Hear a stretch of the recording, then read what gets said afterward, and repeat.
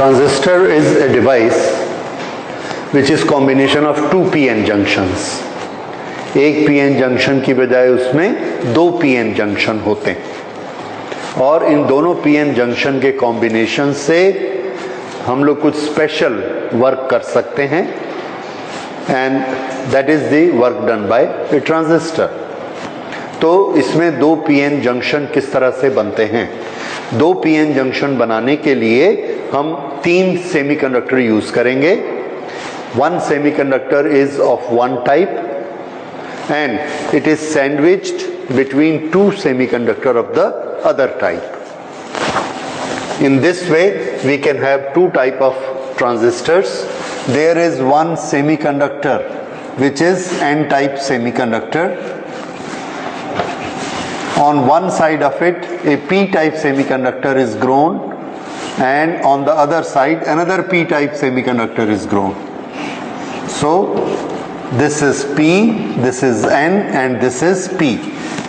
This is a transistor. So there are two junction. One is this pn junction and other is this pn junction so this is a transistor a combination of semiconductors there are three semiconductors so we will have three outlets from here or three terminals of this Another type of semiconductor which we can make with the same theory is take a p-type semiconductor, p-type semiconductor and grow n-type across it. This is a p-type और एक तरफ इसके n-type और दूसरी तरफ भी n-type.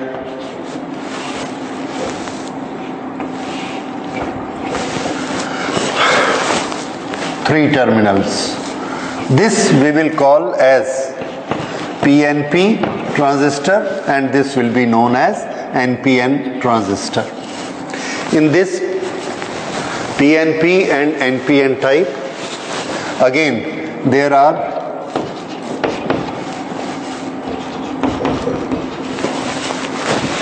three semiconductors and we have given them separate names.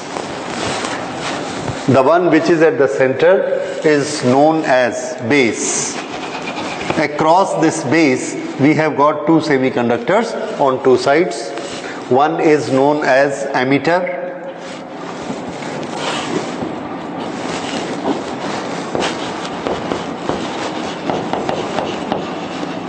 It will emit the charges and other is collector. This will collect the charges collector. And this is the base across which both are located. Again this is base this is emitter and this is collector.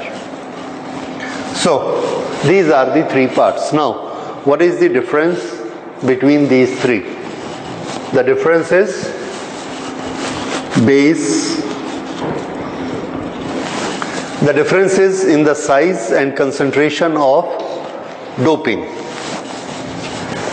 Base is small in size and light in doping.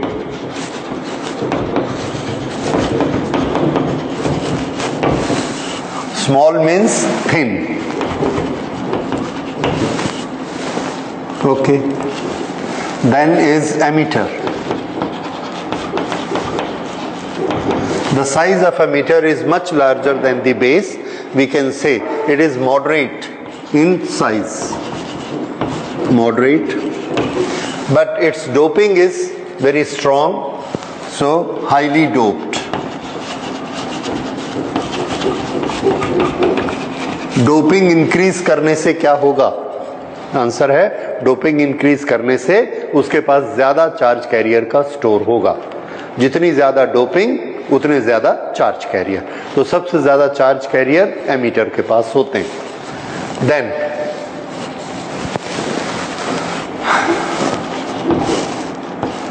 collector collector collector size में large सबसे बड़ा size collector का होता है। Doping में moderate ये। ये तीनों की डोपिंग और तीनों का साइज़ तो सबसे बड़ा साइज़ कलेक्टर का, उससे छोटा एमिटर और उससे छोटा बेस डोपिंग में सबसे ज़्यादा स्ट्रॉन्ग डोपिंग एमीटर की उससे कम मॉडरेट कलेक्टर की और लाइट डोपिंग किसकी होगी? बेस की। So this is the detail of base emitter and collector okay इसको हम लोग सिंबल बनाते हैं और उसको रिप्रेजेंट करते हैं symbol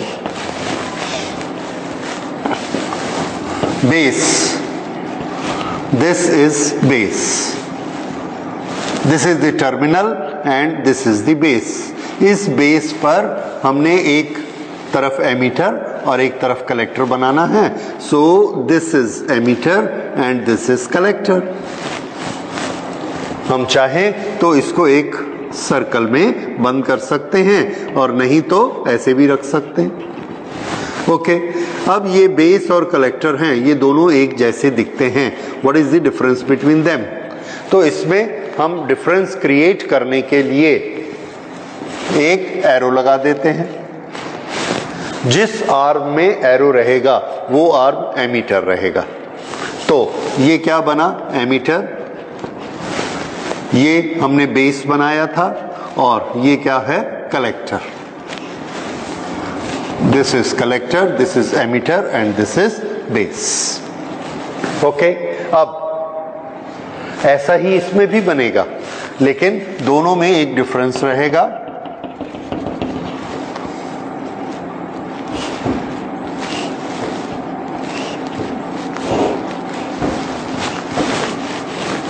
डिफरेंस ये है कि ये पी एन पी है और ये एन पी एन है। This is positive this is negative this is positive and the current flows from positive to negative. तो ये एमीटर है एमीटर और ये बेस है। तो एमीटर से करंट जाएगी और बेस में एंटर करेगी। This is positive this is negative emitter से करंट जाएगी और बेस में एंटर करेगी। इसलिए इसका एरो इस डायरेक्शन में रहेगा। यहाँ पर नेगेटिव पॉजिटिव नेगेटिव पॉजिटिव तो करंट हमेशा पॉजिटिव से नेगेटिव जाती है तो इसका इंडिकेटर हमने ऐसे लगा दिया। Okay now again this is emitter this is collector and this is base but what is the difference इसका एरो अंदर है तो ये P है और ये N है। अगर ये P है, N है तो नेचुरली ये P होगा। और ये अगर इसके से हमको पता लगा कि ये एन है और ये पी है तो नेचुरली ये भी एन होगा। So this is N P N और ये वाला P N P so these are the indicators of N P N and P N P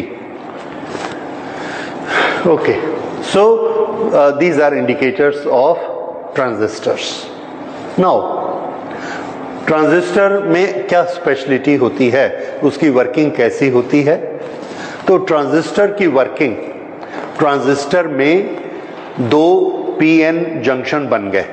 ये तो हमको मालूम है, और दोनों पीएन जंक्शन की अपनी कुछ ना कुछ विड्थ होगी। यहाँ पर इसकी कुछ ना कुछ विड्थ होती है तो let me make it like this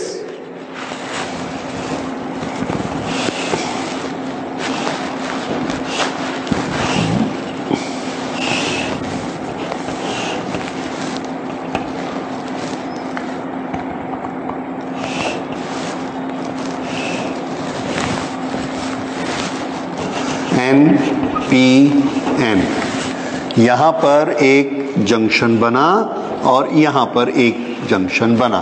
This is one P N junction and this is another P N junction this is N P N this is emitter base and collector N P N में हमको मालूम है कि ये अपने आप बन जाएगा क्योंकि पी एन जंक्शंस हैं और इसमें ऑटोमेटिकली एक पोटेंशियल बैरियर बनता है नेगेटिव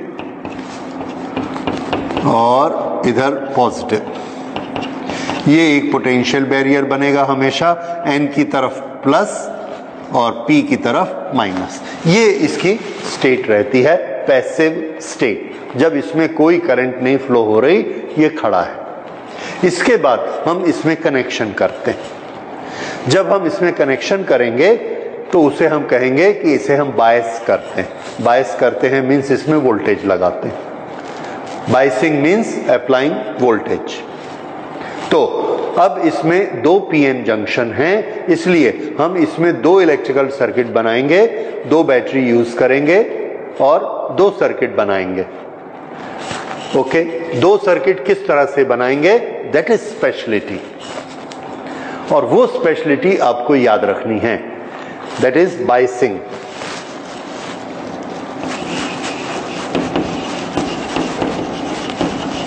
इसकी बाइसिंग इस तरह से करते हैं कि ई e और बेस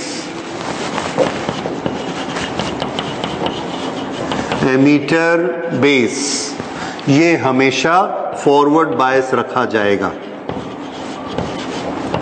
फॉरवर्ड बायस और कलेक्टर ये हमेशा रिवर्स बायस रखा जाएगा.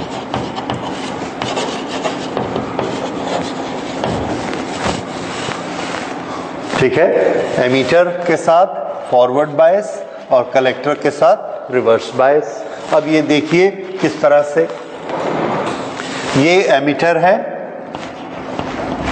बेस कलेक्टर अगर मुझे इसे फॉरवर्ड बायस करना है तो मैं इसे यहाँ बनाता हूँ, फिर से।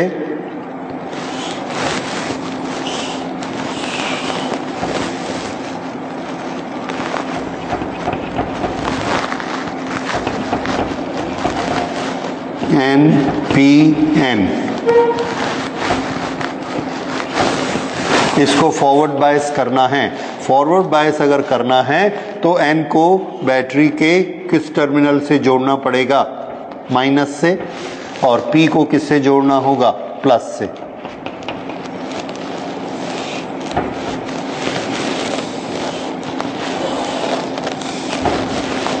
ये फॉरवर्ड बाइसिंग हो गई। P प्लस से जुड़ा है और N माइनस से जुड़ा है। ऐसे करंट फ्लो होगी। This is forward biasing of PN junction ये वाला जो पीएन जंक्शन है, इस पीएन जंक्शन जो बेस और एमीटर के बीच है, उसकी हमने फॉरवर्ड बाइसिंग कर दी। ये कनेक्शन हो गया। अब हमको कलेक्टर को भी जोड़ना है तो जोड़ने के लिए दो टर्मिनल चाहिए। तो दूसरा टर्मिनल कहाँ से लाएँगे? तो आंसर है, इन दोनों में से ही किसी एक टर्मिनल को यूज़ कर लेंगे, या तो बेस को या एमीटर को। जब हम बेस को यूज़ करेंगे तो बेस दोनों में यूज़ हो रहा है we will call it common base connections अगर एमीटर को यूज़ करेंगे we will call it common emitter connection okay तो यहाँ पर मैं बनाता हूँ common base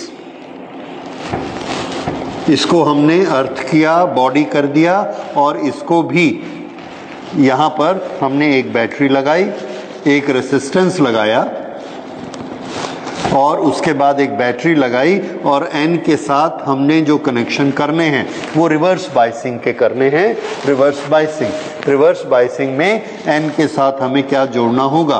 plus minus plus minus ये। और इसको इस तरह से यहाँ से कनेक्ट कर दें। यहाँ पर भी एक छोटा सा रेसिस्टेंस लगाएँगे which is resistance with the emitter और रेसिस्टेंस विद द बेस कुछ भी मानिए, इस तरह से ये यहाँ पर लगेगा। तो अब देखिए बेस एमीटर P प्लस के साथ है, N माइनस के साथ है। दिस इज़ फॉरवर्ड बाइसिंग ये कलेक्टर है, ये बेस है कलेक्टर एन है, ये प्लस के साथ जुड़ा है, यहाँ से ऐसे करंट है, और ये, इसका P इस बैटरी के साथ माइनस से जुड़ा है। माइनस P माइनस के साथ। तो ये वाला कनेक्शन कैसा हो गया? This is reverse biasing and this is forward biasing E B के बीच में फॉरवर्ड बाइसिंग हो गई। So this is how transistor is connected हमेशा यही कनेक्शन होगा ट्रांजिस्टर का कोई भी एंड यूज़ करेंगे कनेक्शन ऐसा ही रहेगा। क्यों? क्योंकि ट्रांजिस्टर इसी में अपना फ़ंक्शन दिखाता है। अब मैं जो चीज़ आपको बता रहा हूँ कि इसका फ़ंक्शन क्या होता है। जैसे ही हम इस तरह से बैटरी जोड़ के ऑन करेंगे तो क्या होगा? ये एक पीएन जंक्शन है, इसकी कुछ वेट है। इसको हमने फॉरवर्ड बायस किया। फॉरवर्ड बायस करने से डिप्लीशन लेयर की विड्थ का क्या होता है? कम हो जाती है और जब हम उसकी वोल्टेज पार कर लेते हैं, नी वोल्टेज पार कर लेते हैं तो वो खत्म हो जाती है। तो ये जो रेसिस्टेंस है, ये खत्म हो जाता है, ये ऐसा बन गया। इस रेसिस्टेंस का क्या होगा? ये वाला जो रीजन है, ये रिवर्स बायस में गया तो हमने देखा, ये रिवर्स बायस में और चौड़ा हो गया। ये ऐसा। और ये वाला नैरो हो गया। तो देखिए, यहाँ ये रेसिस्टेंस था 10 और 10 यहाँ पर ये रेसिस्टेंस हो गया 2 और ये हो गया 18 ये कम हो गया और ये वाला बढ़ गया। तो इसमें इस रेसिस्टेंस का यहाँ ट्रांसफ़र हो गया। रेसिस्टेंस का ट्रांसफ़र हो गया। तो इस डिवाइस में ट्रांजिस्टर में जैसे ही हम उसकी बाइसिंग करते हैं बाइसिंग करने से इसका रेसिस्टेंस ट्रांसफ़र हो जाता है। इस पीएन जंक्शन से इस पीएन जंक्शन में ट्रांसफ़र हो गया। तो किसकी ट्रांसफ़र हुई? ट्रांसफ़र ऑफ़ रेसिस्टर इसलिए हमने ये इसका नाम रख दिया ऐसा। ये क्या बचा? ट्रांसफ़र ऑफ़ रेसिस्टर ट्रांजिस्टर इसलिए इसका नाम क्या पड़ा? ट्रांजिस्टर ठीक है? We can write it clearly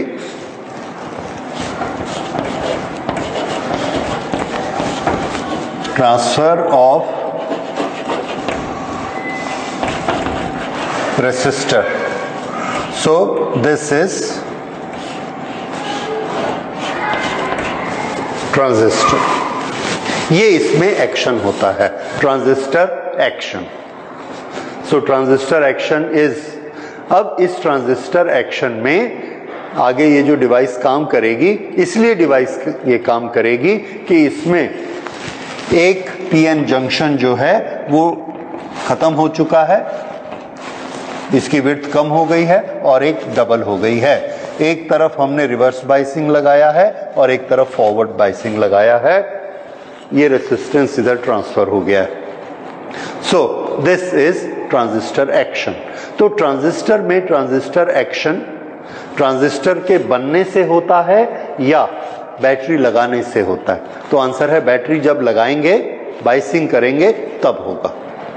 PN junction में जैसे ही हम पी और एन को जोड़ते हैं, उसके बीच में डिप्लीशन लेयर बन जाती है, पोटेंशियल डिफरेंस आ जाता है तो डायोड का एक्शन स्टार्ट हो जाता है। डायोड का फ़ंक्शन हो जाता है। डायोड का फ़ंक्शन पीएन जंक्शन बनाना है और पीएन जंक्शन बनाने के लिए हमको बैटरी देने की ज़रूरत नहीं पड़ती है। हम पी और एन को जोड़ते हैं पीएन जंक्शन बन जाता है। तो डायोड जो है, वो एक्टिव डिवाइस है। कंस्ट्रक्शन करते ही उसका एक्शन स्टार्ट हो जाता है। लेकिन ट्रांजिस्टर में कंस्ट्रक्शन करते ही उसका एक्शन स्टार्ट नहीं होता। ये पैसिव डिवाइस है। जब हम इसको बैटरी देते हैं, तब इसका एक्शन स्टार्ट होता है। तो this is passive device and diode is a active device anyway उससे ज़्यादा फ़र्क नहीं पड़ता है। नाउ वी अंडरस्टैंड कि इस तरह से इसको बाइसिंग की जाती है और ये इसमें एक्शन होता है। This is transistor action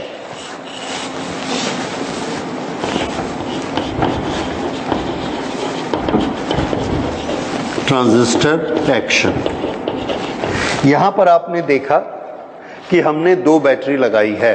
तो याद रखिए ट्रांजिस्टर में हमेशा दो बैटरी ही लगती है ये हम कर सकते हैं कि एक बैटरी लें और एक बैटरी का अलग से सर्किट बना के उसे दो पॉइंट एक तरफ़ ले जाएँ, दो पॉइंट एक तरफ़ ले जाएँ अलग अलग वोल्टेज के।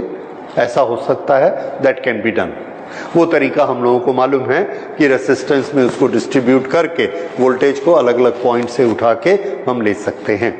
बट एनी स्टडी करने के लिए we make it clear that there are two battery sources forward biasing and reverse biasing और इसमें छोटी छोटी चीज़ें, ये वाली बैटरी हमेशा छोटी बैटरी रहेगी। इसको फॉरवर्ड बाइसिंग में करंट फ्लो होना है रेसिस्टेंस कम है। Because of the low resistance, small battery will do. Here, the resistance is very large and it is a reverse bias. Reverse bias में करंट बहुत कम होती है, इसलिए अगर हमको करंट चाहिए तो हमको वोल्टेज को इंक्रीज करना पड़ता है। So we have to apply a larger battery तो ये बैटरी लार्जर बैटरी होती है और ये स्मॉलर बैटरी होती है। अब इसमें थोड़े से नोटेशन और देखिए। यहाँ से ये जो बैटरी है this battery we will term as base battery this is base battery and this is collector battery okay notation बाद में लेते हैं। अब ये जो हमने कनेक्शन किए हैं, इस कनेक्शन को हम लोग कॉमन बेस बनाकर भी कर सकते हैं और कॉमन कलेक्टर बनाकर भी कर सकते हैं। यहाँ पर हमने क्या बनाया है? कॉमन बेस और ये वाला ब्लॉक डायग्राम यूज़ किया है। We can use this diagram also इस डायग्राम को यूज़ करके हम कैसे कनेक्शन करेंगे? देखिए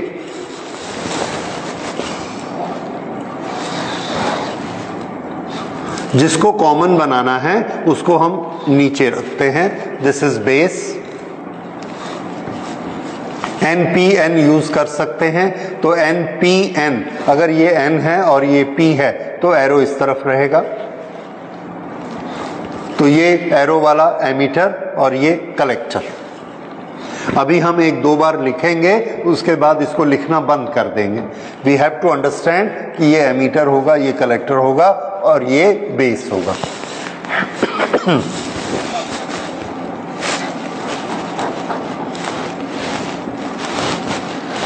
अब एमीटर और बेस इसको हमने कैसा रखना है? फॉरवर्ड बायस तो इसलिए नेगेटिव साइड को माइनस से और दूसरे साइड को प्लस से पॉजिटिव साइड को प्लस से। ये हमने ऐसे बना दिया। ये फॉरवर्ड बाइसिंग हो गई और इसके साथ हमने रिवर्स बाइसिंग बनानी है। इसका रेसिस्टेंस हम इधर नहीं बनाते, इधर बनाते हैं। तो हमको सर्किट एप्लीकेशंस में आसानी होगी। ये, अब ये है एन ये है P N P N N को हमने प्लस से जोड़ दिया।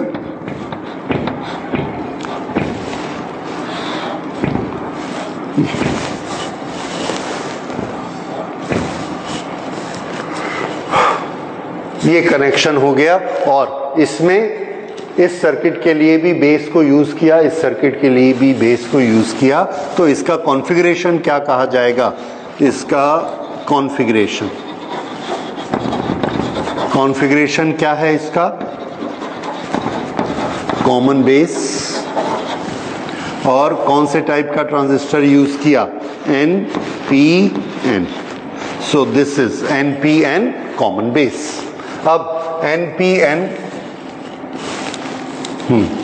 P N P का कॉमन बेस कैसे बनेगा?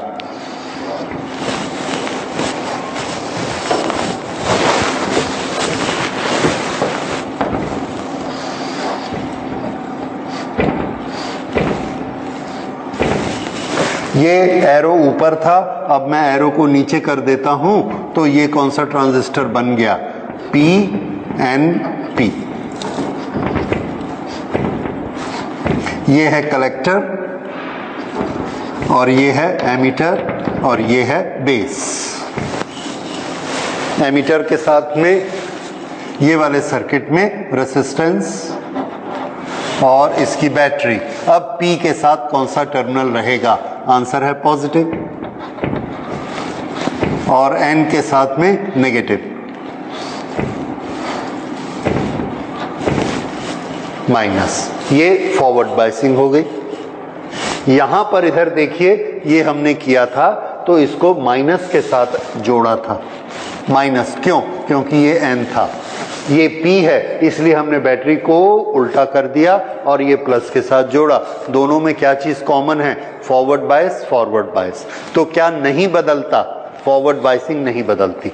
फॉरवर्ड बाइसिंग रहेगी रहेगी, भले हमको बैटरी को टर्मिनल को एक्सचेंज करना है। दैट वी विल डू वैसे ही ये P है तो P के साथ कौन सा टर्मिनल लगाना है? Minus so this will be reverse biased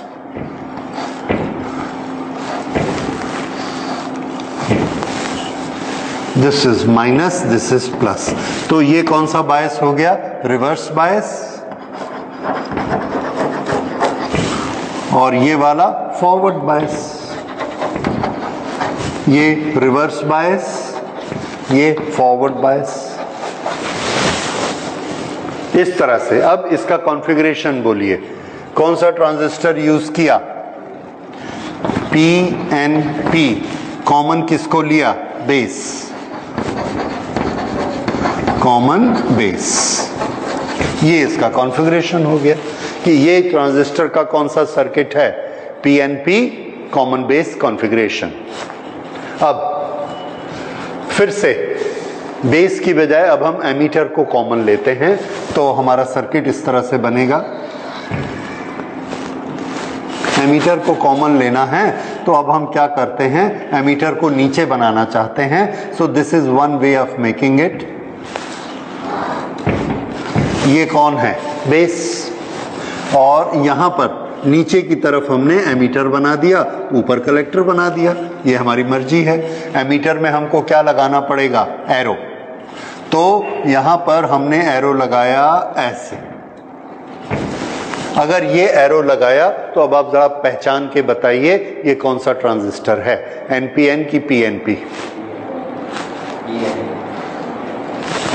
arrow से आप क्या लेंगे? यहाँ पर कौन है? P. और यहाँ कौन है? N तो यहाँ क्या आना चाहिए? P. तो कौन सा ट्रांजिस्टर हुआ?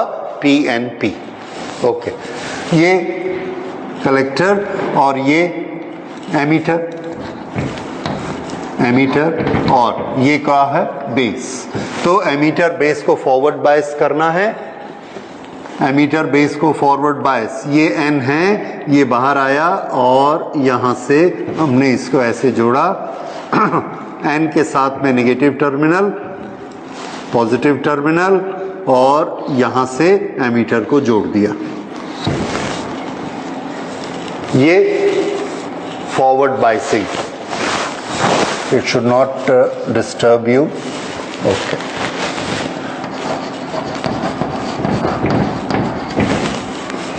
ये कौन सी बाइसिंग हो गई?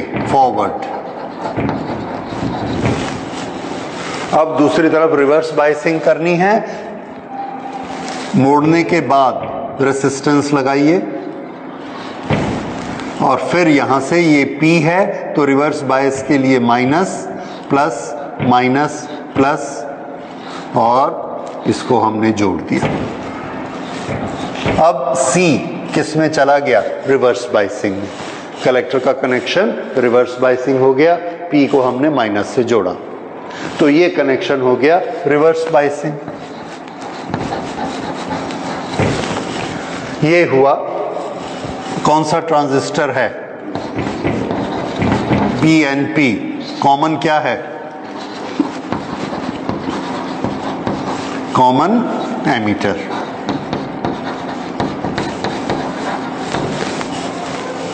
ओके okay, इसके बाद हम लेते हैं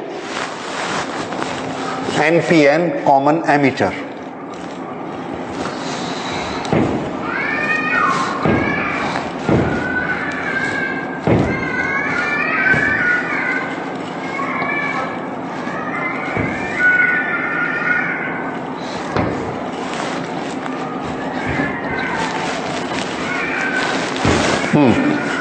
ये एरो दिखाता है कि ये P है और ये साइड N है। तो ये वाला भी क्या होगा? एन तो ये कौन सा ट्रांजिस्टर हुआ? एन पी एन ये एरो वाली साइड क्या होती है? एमीटर ये होता है बेस और ये तीसरा कलेक्टर ओके बेस और एमीटर को फॉरवर्ड बायस करना है। फॉरवर्ड बायस के लिए पी को हमेशा किससे जोड़ेंगे? पॉजिटिव टर्मिनल से नेगेटिव टर्मिनल अपोजिट और this is completing the circuit this is forward biasing और ये कौन सी ब्रांच है? बीई उसके बाद कलेक्टर को रिवर्स बायस में लगाना है। तो ये कलेक्टर यहाँ पर एन है। तो एन के साथ यहाँ हमने रेसिस्टेंस दिया। और यहाँ पर एक बैटरी लगाई एन है रिवर्स बायस के लिए, यहाँ प्लस लगाएँगे, माइनस, प्लस, माइनस, और इसको हमने माइनस के साथ ऐसे जोड़ दिया, minus. Okay so collector is now on reverse biasing circuit complete तो बार बार ऐसा करने से अब आपकी प्रैक्टिस हो जाएगी। अब इस कॉन्फ़िगरेशन को हम क्या कहेंगे? N P N common emitter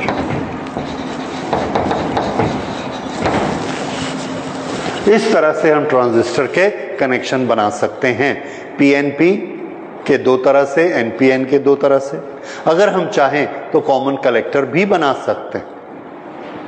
वो भी एक बन सकता है। एनीवे क्लास ट्वेल्थ में जो हमको स्टडी करना है, वो स्टडी करना है N P N common emitter इसको लेकर, इसको रेफरेंस में लेकर हमको सारी स्टडी करनी है। N P N common emitter कहाँ है? कौन सा है? देखा?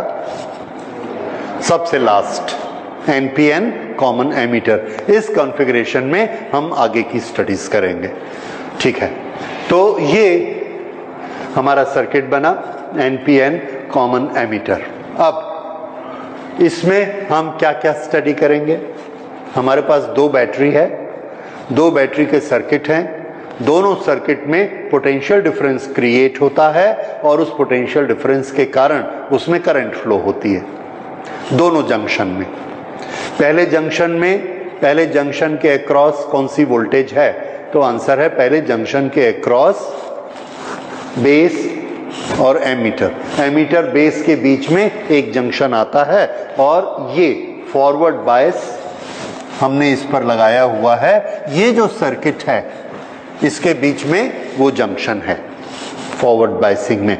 ओके तो इसमें वोल्टेज चेंज करेंगे करंट चेंज होगी। कितनी वोल्टेज चेंज करने से कितनी करंट होगी, अगर हम इसका ग्राफ बनाएँगे तो उसको हम बोलेंगे फॉरवर्ड बायस करेक्टरिस्टिक ओके इस ट्रांजिस्टर के सर्किट में हम अपने सिग्नल देंगे एक तरफ़ से और एक तरफ़ से रिसीव करेंगे। इसमें जो हम सिग्नल दिया करेंगे, जो इनपुट दिया करेंगे, वो हमेशा यहाँ से दिया करेंगे। इसलिए इसको हम बोलेंगे इनपुट पार्ट, इनपुट। और जो हम रिसीव करेंगे, उसको इस पार्ट से रिसीव करेंगे तो इसको हम क्या बोलेंगे? Output part. तो दो तरह के इसमें दो सर्किट होते हैं, जो ये वाला सर्किट है बी और ई e का। इसे क्या कहेंगे? इनपुट सर्किट और इसको क्या कहेंगे? आउटपुट सर्किट इसके अंदर जो हमको भेजना है, वो कहाँ से भेजा जाएगा? इनपुट से। माइक्रोफोन लगाकर हम इसमें सिग्नल भेजना चाहते हैं तो इनपुट में जोड़ेंगे। इसमें से आवाज़ निकालना चाहते हैं करंट निकाल के स्पीकर में जोड़ना चाहते हैं तो आउटपुट में जोड़ेंगे। तो ये इनपुट और आउटपुट ये दो इसके पार्ट होते हैं। अब इनपुट फिर से इनपुट किस किस के बीच में है? बी और ई e के बीच में। इनपुट की कैसी बाइसिंग है? फॉरवर्ड बाइसिंग आउटपुट किस किस के बीच में है? कलेक्टर और एमीटर के बीच में, और उसकी बाइसिंग कैसी है? रिवर्स बाइसिंग ठीक है? ये आप इनपुट और आउटपुट बाइसिंग और कौन से दो टर्मिनल, इसको याद रखेंगे। और ये किस कॉन्फ़िगरेशन की बात कर रहे हैं? यस एनपीएन कॉमन एमीटर उस बाइसिंग की। बाकी चीज़ों में हो सकता है, बदल जाएगा। ओके ठीक तो ये इनपुट और आउटपुट अब हम बात कर रहे थे, फिर से उस पर आते हैं।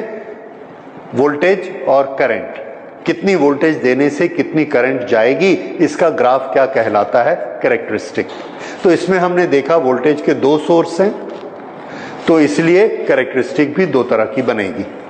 एक कैरेक्टरिस्टिक को हम बोलेंगे इनपुट कैरेक्टरिस्टिक और एक को बोलेंगे आउटपुट कैरेक्टरिस्टिक तो ट्रांजिस्टर में ये चीज़ बदल गई। जब डायोड था तो इसको हम क्या कहते थे? फॉरवर्ड बाइसिंग कैरेक्टरिस्टिक और इसको क्या कहते थे? रिवर्स बाइसिंग कैरेक्टरिस्टिक ट्रांजिस्टर आने से उनके नाम क्या हो गए? Input characteristic and output characteristic अब ये दोनों कैरेक्टरिस्टिक कैसे होते हैं? इसे देखिए। इनपुट कैरेक्टरिस्टिक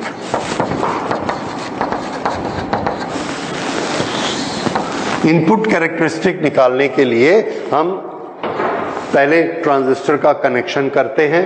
कौन सा? एनपीएन कॉमन एमीटर अब मैं उसको बनाता हूँ कि कैरेक्टरिस्टिक बनाने के लिए हमको उसमें क्या और लगाना पड़ेगा?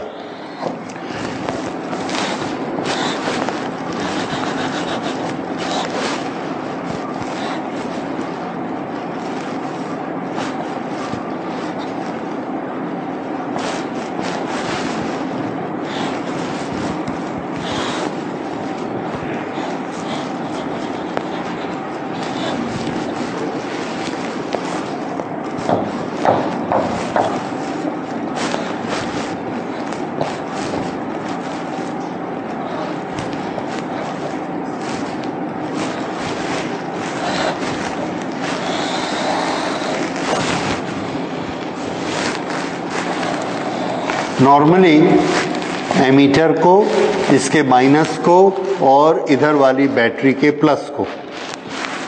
ये है N P N N P N तो पी किसके साथ जुड़ेगा? पॉजिटिव के साथ।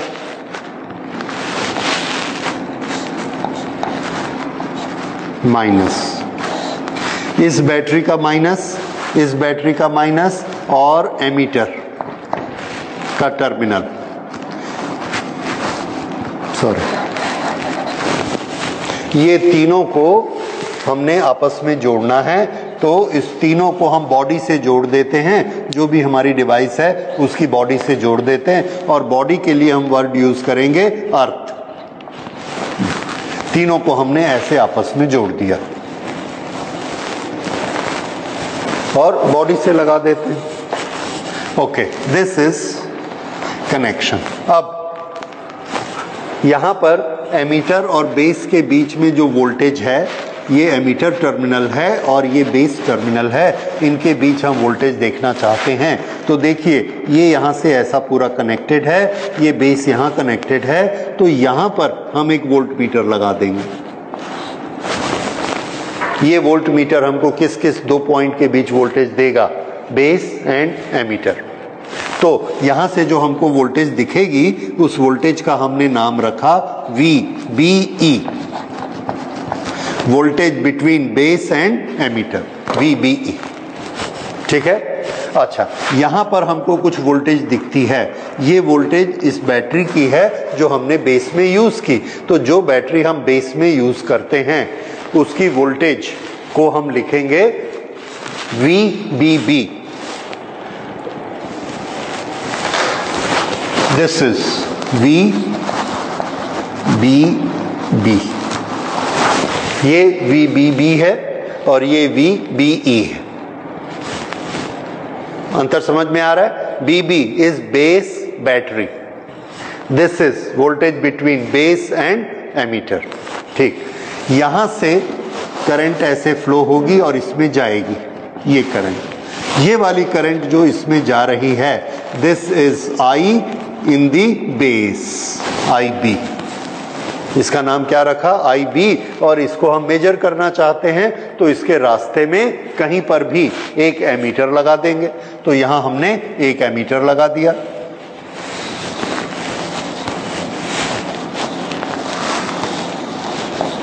Ampere meter.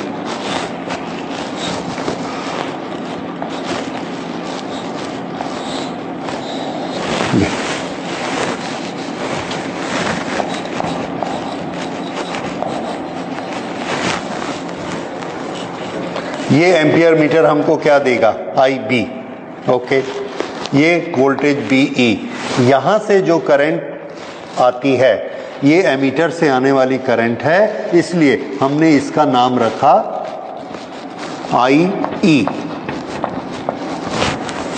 Current in the emitter. और अब आप समझ गए, यहाँ हमने एक एम्पियर मीटर लगाया, फिर से एम्पियर मीटर और इस एम्पियर मीटर में जो करंट जाएगी यहाँ पर, उस करंट का नाम क्या होगा? आई सी क्योंकि ये कौन सा टर्मिनल है? कलेक्टर। इसलिए आई सी अब इस आई सी के एरो की डायरेक्शन बताइए। लेफ़्ट की right yes very good left क्योंकि प्लस से करंट निकलती है और एन में जाती है। तो इसलिए ये इसकी डायरेक्शन हो। ठीक है? ये।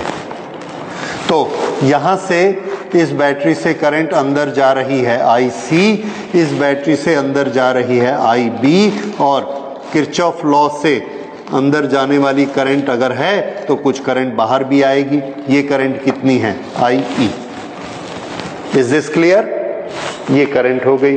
ओके फिर से, इसके अक्रॉस जो वोल्टेज है, उसका नाम क्या? V B B base battery ये वाली जो वोल्टेज है, इसका हम नाम देंगे वी सी सी वी सी सी ये इस बैटरी की वोल्टेज है।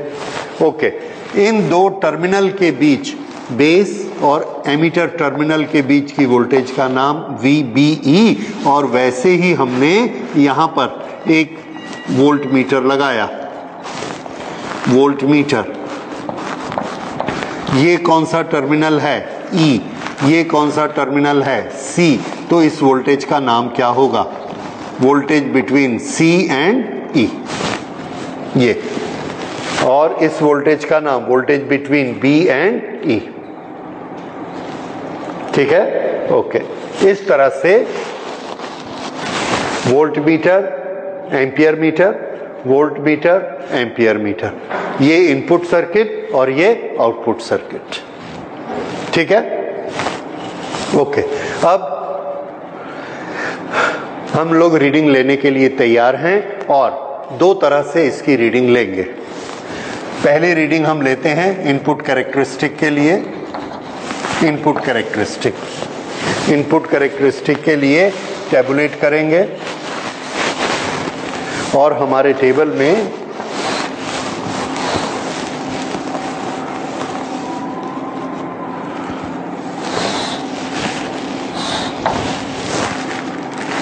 हम दो चीज़ों को वेरी करते हैं।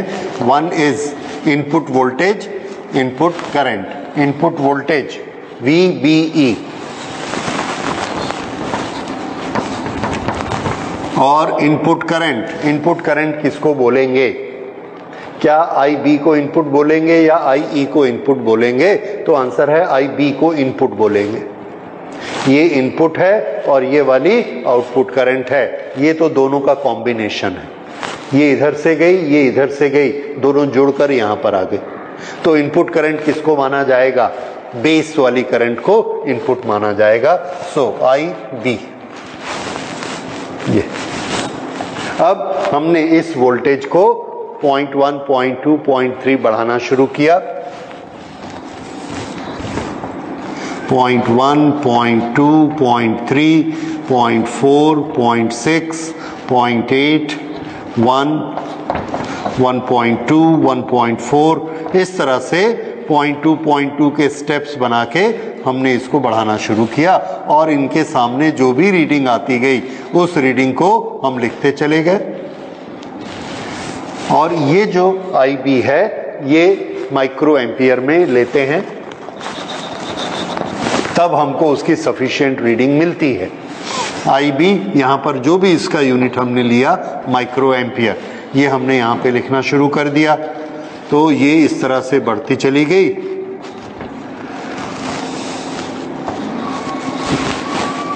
इस तरह से वी बी को थोड़ा थोड़ा बढ़ाते, थोड़ी देर तक आई बी ज़ीरो रहती है। उसके बाद हमको समझ में आ रहा है पोटेंशियल बैरियर ब्रेक हो गया डिप्लीशन लेयर खत्म हो गई करंट फ्लो होनी स्टार्ट हो गई। जब तक ये नहीं हुआ था, तब तक ज़ीरो ज़ीरो थी। ओके तो ये हमारी रीडिंग आ गई। अब एक बड़ी स्पेशल चीज़ समझिए। जब हम यहाँ पर वोल्टेज को बढ़ाते हैं तो किससे बढ़ाते हैं? तो आंसर है, इसके साथ एक रिहोस्टेट लगा के यहाँ से हम वेरिएबल वोल्टेज क्रिएट करते हैं। इसको बदल, घुमाते हैं तो ये वोल्टेज चेंज होती है। ठीक है? तो जब हमने बी ई को चेंज करना है तो इस बैटरी के साथ एक रिहोस्टेट लगाएँगे, उसको घुमाते जाएँगे एडजस्ट करेंगे, ये वोल्टेज चेंज होती जाएगी। एक और हम स्पेशल चीज़ देखते हैं कि जब हम ये वोल्टेज को चेंज करते हैं करंट चेंज होती है तो ये वाली रीडिंग अपने, ये वाला जो वोल्टेज है VCE ये अपने आप चेंज होना शुरू हो जाता है। ये चेंज होना शुरू हो जाता है और इसका जो चेंज है, वो चेंज इसको अफेक्ट करता है। आई बी को अफेक्ट करता है। और हम चाहते हैं कि वो आई बी को अफेक्ट मत करें। क्योंकि हम रीडिंग किस किस की ले रहे हैं? वी बी ई और आई बी ई इसकी रीडिंग हम ले रहे हैं तो हम ये चाहते हैं कि इधर का वोल्टेज उसको डिस्टर्ब नहीं करे। तो उसके लिए क्या करते हैं? यहाँ हमने करंट फ्लो कराई। जैसे ही करंट हमारी यहाँ से यहाँ आई, यहाँ से यहाँ आई, हम क्या देखते हैं? वीसीई चेंज हो रहा है। तो हम क्या करते हैं? यहाँ पर एक रिहोस्टेट रखते हैं। इस रिहोस्टेट को चेंज करके इसकी वोल्टेज को कम या ज़्यादा करके उसकी वैल्यू सेम रखते हैं, जो पहली रीडिंग में थी। यहाँ तक जो VCE की रीडिंग चल रही थी VCE अगर ये वैल्यू यहाँ चेंज होने लगती है, इस करंट के कारण तो हम इसको रिहोस्टेट से पुरानी वैल्यू पर ले आते हैं। फिर हमने वोल्टेज चेंज की करंट चेंज हुई। हमने देखा VCE चेंज होने की कोशिश कर रहा है। फिर से हमने यहाँ से रिहोस्टेट एडजस्ट किया VCE को कांस्टेंट कर दिया। तो इस पूरे एक्सपेरिमेंट में जब हम VBE चेंज करते हैं IB चेंज होती रहती है तो VCE को कैसा रखते हैं? कांस्टेंट एक पर्टिकुलर जो भी हमने चॉइस किया, उस चॉइस पर इसको कांस्टेंट कर देते हैं और ये वाली रीडिंग लेते हैं। ठीक है? तो ये हमारा टेबल तैयार हो गया। अब इस टेबल के तैयार होने के बाद हम इसको ग्राफ बना लेते हैं। और ये जो ग्राफ है, ये वही ग्राफ है जो आपने पीएन जंक्शन फॉरवर्ड बायस का ग्राफ पढ़ा था। तो ये बायस में, इसमें, ये ऐसे करंट जाती है। पहले तो करंट ज़ीरो रहती है। This is current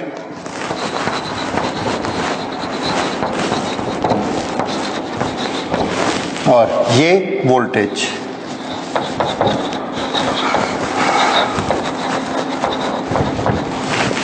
current I B और यहाँ से हमने वोल्टेज दी, ये पॉइंट फाइव, पॉइंट सिक्स के बाद ये ऐसा ऊपर चढ़नी शुरू हो इस तरह से। तो ये ग्राफ हमको मिलता है फॉरवर्ड बायस का। ये वाली जो वोल्टेज होती है this voltage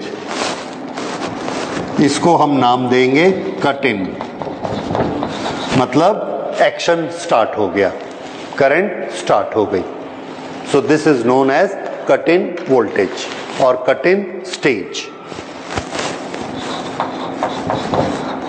cut in voltage और इसके इस तरफ़ की स्टेज कैसी है? कट इन स्टेज और यहाँ पर हम मेंशन करेंगे VCE is equal to so many volt ठीक है? मतलब ये जो पर्टिकुलर ग्राफ बनाया गया, उस समय VCE की वैल्यू हमने इतनी रखी। तो ये कौन सा बन गया? फॉरवर्ड बाइसिंग कैरेक्टरिस्टिक या input characteristic so this is known as input characteristic तो इनपुट कैरेक्टरिस्टिक में बनाने से हमने स्टडी क्या किया? नोटिस क्या किया? हमने ये नोटिस किया कि पहले थोड़ी देर तक ट्रांजिस्टर में कोई करंट फ्लो नहीं हो रही। That is cut off stage यहाँ से लेके यहाँ तक, ये वाली जो स्टेज है, इसको क्या बोलेंगे? कट ऑफ़ तो इस स्टेज को क्या बोलेंगे? कट इन स्टेज इस वोल्टेज को क्या बोलेंगे? कट इन वोल्टेज ठीक है? और इसमें करंट फ्लो होनी स्टार्ट हो गई। तो ये दो स्टेज का नाम आप समझ गए ट्रांजिस्टर में और ये इनपुट करंट जब इसमें करंट नहीं फ्लो होती तो ये कट ऑफ़ है। जब इसमें करंट फ्लो होती है तो इसकी डिप्लीशन लेयर खत्म हो चुकी है और डिप्लीशन लेयर खत्म होके ये वाली सिचुएशन आ गई है और करंट इसमें आराम से ऐसे फ्लो हो रही है। ऐसे करंट फ्लो हो रही है और इसका रेसिस्टेंस कुछ डायोड का, जो पीएन जंक्शन का रेसिस्टेंस होता है, वो इसका रेसिस्टेंस है और यहाँ से हम उस रेसिस्टेंस को निकाल सकते हैं।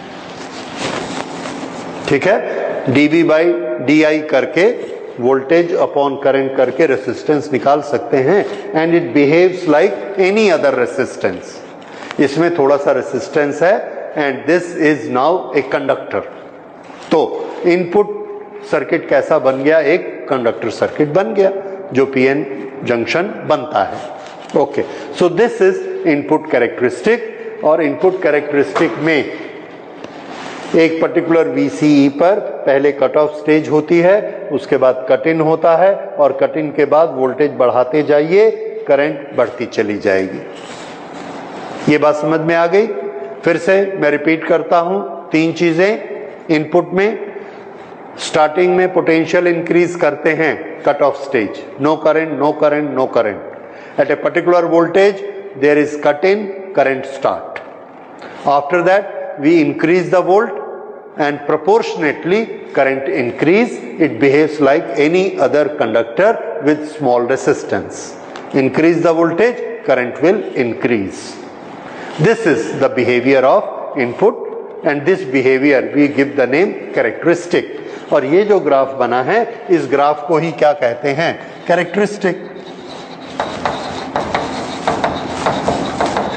and this is what input characteristic okay अब ये इनपुट कैरेक्टरिस्टिक समझने के बाद, अब हम अगली चीज़ लेते हैं दैट इज़